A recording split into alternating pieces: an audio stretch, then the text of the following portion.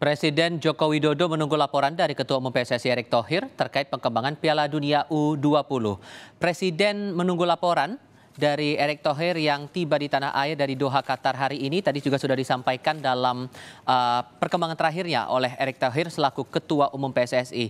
Terkait adanya penolakan yang dilontarkan Gubernur Bali dan Gubernur Jawa Tengah, Presiden menyebut hal itu merupakan hak demokrasi.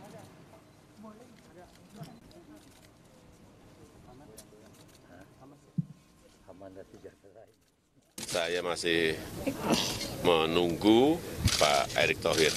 Nggak tahu tadi malam sudah datang atau belum. Kalau sudah akan saya undang. Ada rencana ketemu langsung sama timnas pak? Apa? Akan ketemu langsung sama pemain main U20-nya Pak. Belum, belum, belum. Pak, terkait dua gubernur Pak yang berbeda pandangan tentang Israel dengan Bapak itu ada sanksi nggak Pak? Apanya? Ada dua gubernur kan Pak ya, yang terkait pandangannya berbeda dengan Bapak terkait Israel Ya, itu. ini Kira-kira kan- ada sanksi nggak Pak? Ini negara demokrasi. Yang paling penting jangan dicampur adukan. Saya sudah saya sampaikan kan.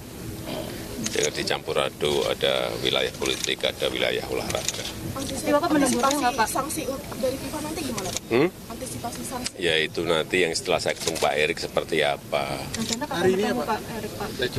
Yang belum tahu, sudah datang atau belum tadi malam atau tadi pagi. Katanya kalau sudah datang langsung akan melaporkan ke saya.